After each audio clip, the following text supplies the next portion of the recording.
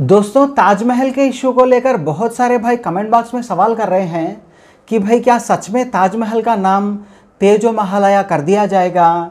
क्या वहाँ पर पूजा की परमिशन दी जाएगी? क्या है इसका एग्जैक्ट पूरा प्रोसेस और ये होने में कितने दिन लगेगा? दोस्तों, फ़िलहाल की सिचुएशन को देखकर तो लगता है कि इस देश में पाँच परसेंट हिंदू भाई भी ऐसे नहीं है जो ताजमहल का नाम तेजो महल्या में बदलने की मांग कर रहे हो। तो पाँच परसेंट हिंदू भाई भी इसमें इंटरेस्टेड नहीं लग रहे। लेकिन अगर बीजेपी चाहे तो कभी भी वो अपने मुस्लिम नेताओं को ये आर्डर दे सकती है कि आप तेजो महल्या के ख़िलाफ़ कोई भड़काऊ भाषण दे दो। अगर बीजेपी ने ये हुक्म दे दिया अपने मुस्लिम पॉलिटिशियंस को भड़काऊ भाषण देने का, जिस तरह से रिसेंटली हमने देखा कि कश्मीर के महबूबा मुफ्ती जी ने भी एक भड़काऊ भाषण दिया कि अगर दम है तो हमारे ताजमहल को तोड़ के दिखा लो। अगर इनमें दम है तो ताजमहल जैसे जो इस किस्म के हमारे पुराने लाल किले जैसे तो उनको मंदिर बना के दिखा दे फिर।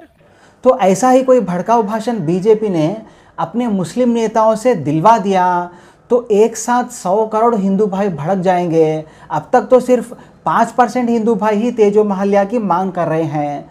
तो अगर किसी मुस्लिम नेता ने अगर भड़काऊ भाषण दे दिया तो एक साथ सौ करोड़ हिंदू भाई भड़क जाएँगे और वो सीधे सीधे ये मांग करने लगेंगे कि मोदी जी, अगर आप चाहे तो दो सौ रुपये भी पेट्रोल कर लो, लेकिन इन मुस्लिम नेताओं को सबक सिखाने के लिए आपको तेजो महालया नाम बदलना ही पड़ेगा।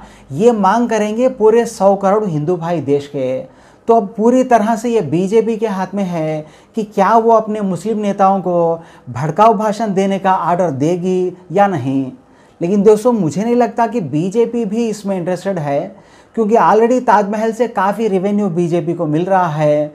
तो अब अगर उन्होंने भड़काऊ भाषण दिलवा भी दिया तो अगर पेट्रोल 200 भी हो गया, मान लीजिए तो एक तरफ़ तो 200 पेट्रोल का इनकम अच्छा आ जाएगा, लेकिन वहीं पे ताजमहल का रिवेन्यू भी बंद हो जाएगा। तो दोनों एक ही बात होगी बीजेपी के लिए एक तरफ़ से रेवेन्यू आएगा, एक तरफ़ से बंद हो जाएगा।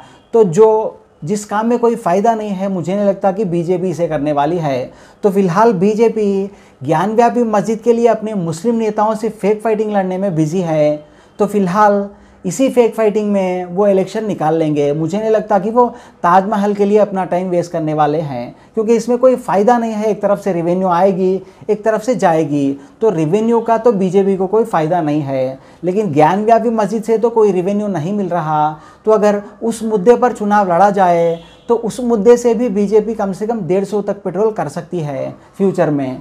तो मुझे लगता है फ़िलहाल ज्ञान व्यापी पर ही पूरा इंटरेस्ट दिया जाएगा। ताजमहल के लिए, इस इशू के लिए मुझे लगता है, जो लोग इसमें इंटरेस्टेड हैं, उनको अभी कई साल इंतज़ार करना पड़ेगा।